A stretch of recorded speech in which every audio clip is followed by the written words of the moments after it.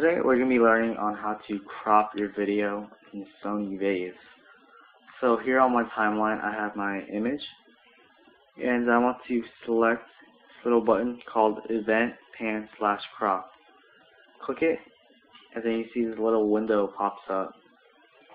Over here you have your uh, list of properties and settings for this specific video track and on this uh, side of the window you have your uh, image and you have a little dash line all around the image along with the little circle.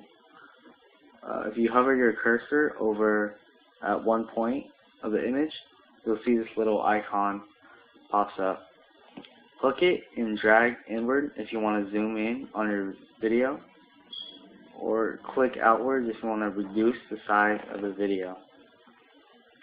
Over here, if you drag your cursor over the, between the um, image and the circle, this little rotation tool pops up. Again, click it and drag it left to right. And then this will um, rotate your image.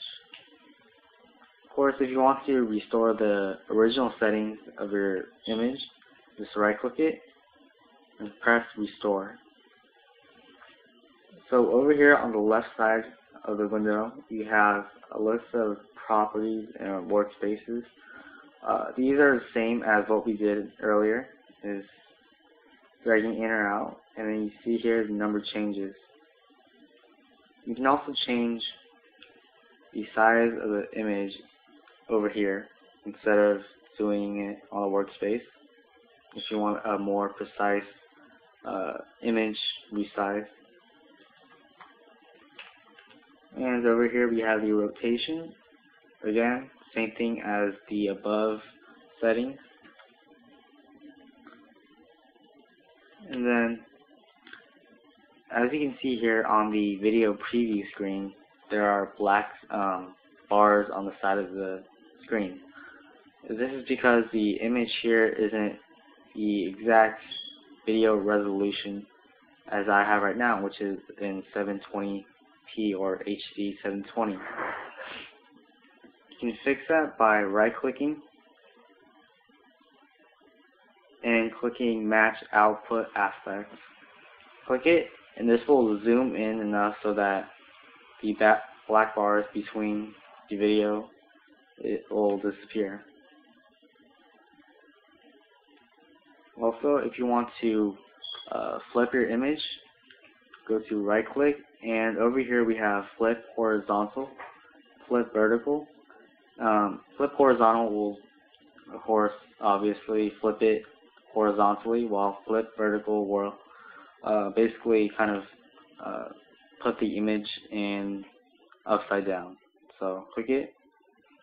There you go. Flip horizontally. Click it. There you go. So that's it for about cropping. That's basically all you need to do. Don't need to do anything else besides uh, if you want to kind of put the crop in motion. So for example, I go to this little track here in the crop window, uh, drag the cursor over on the video track wherever I want, double click, and then don't move this. Just make sure it's on the point.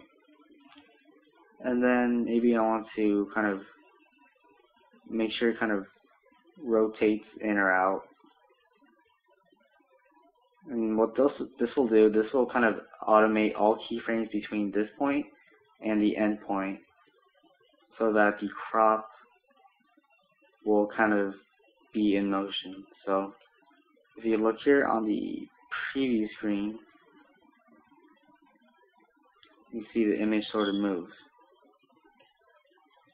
So again, this is basically all you need to do on cropping your video. Um, so uh, comment or rate and subscribe my videos, and I'll see you guys next time.